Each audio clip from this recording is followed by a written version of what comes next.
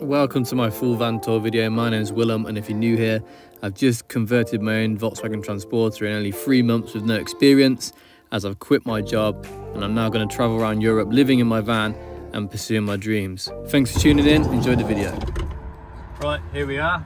This is going to be my van tour. Um, after months and months of hard work, endless tears, recuts, budget jobs, wing it jobs and a lot of stress, finally done. So this is going to be my complete van tour from start to finish with no prior experience, all done with myself with a little bit of help from my family and friends. Hope you enjoy the video. Let's get straight into it. Right, so here we are now at the front of the vehicle. Really haven't done too much here. We've fitted the swivel base, which spins around and allows me to open up the back. Other than that, we just added a few plants for decorative touches, uh, put a mount for my 360 camera, uh, and just some basic things really, just tidied it all up. Um, so yeah, let's get straight into the rest of the van. Right, so here we are now at the back of the van. This is where it gets a little bit more exciting, where a lot of changes have happened if you watch the previous videos. Um, but yeah, let's get straight into what I've done. So first things first, we have changed the floor. So we've now got a vinyl floor in here, which has all been fitted by myself. We put a little kick step in there, a nice little mat, the cabinets themselves are like an L-shaped cabinet with just like a basic lip on them to stop stuff rolling off. Um, where all the electrical system lives is down here. So the electrical system all lives into this uh, cabinet here. So in there we've got things like my clip-on fan, some tools, uh, my leisure battery and a BIM. We then have my electrical system. This is a basic kind of marine uh, camper van electric panel with working USB switches 12 volt socket on the left and then switches for the interior lights should I need to use them. What I decided to do was to put some basic gear that I'll be using quite regularly such as my uh, trekking backpack, so this is my 30 litre, I've also got a 43 litre in the back. I just thought I'd attach this by carabiners to the back of my chair, uh, that way I can just basically uh, access it whenever I want, as well as my climbing helmet. Underneath the bed we have a storage option here which is access to my water um, just some bungee cords on there to stop that from sliding around.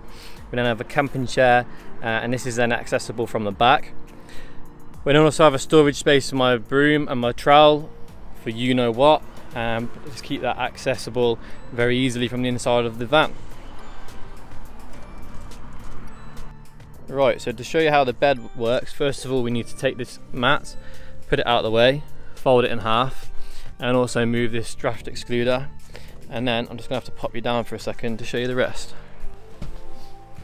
Okay, so the way that the bed works, very simple. You simply unhitch this little catch there and then you drop that down and then what you do is simply get a hold of the uh, fixed, uh, adjustable slats, slide that all the way out, all the way out, all the way out, all the way out, all the way out.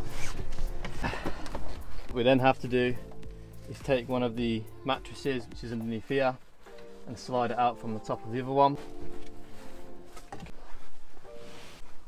I'm sure there's an art to this, but at the moment I do not know that art. And then it's just a case of arranging the bedding.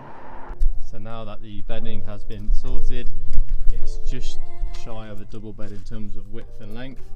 So my duvet will fit on there nicely um, and then it just packs away the opposite way. So that'll be nice and cozy then at night when I'm sleeping. So this is what the bed looks like, fully uh, extended from the back of the van. And what we're going to do now, we're just going to put the van away and then show you some more.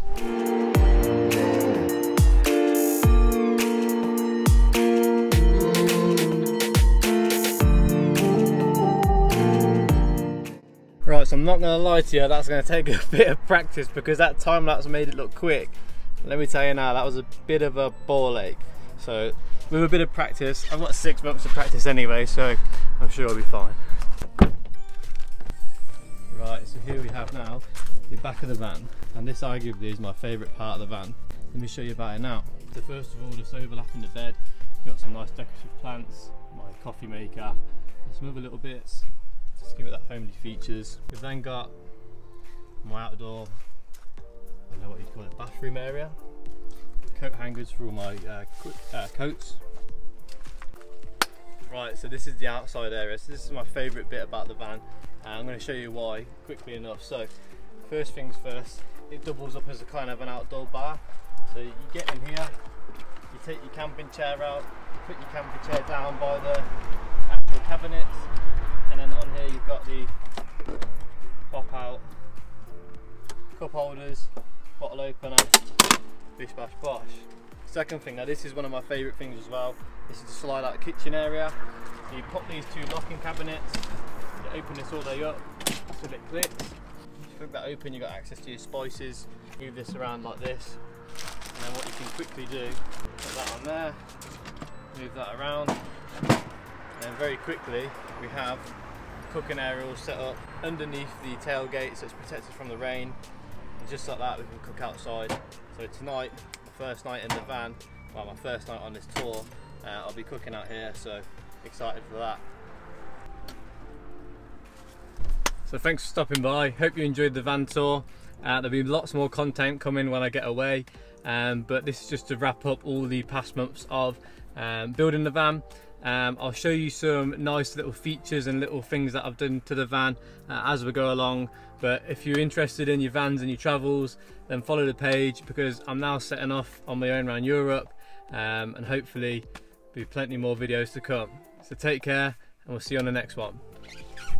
And if you have any questions or queries about the build or anything you'd like to know, just leave the comments below. I'm sure to be get back to you soon.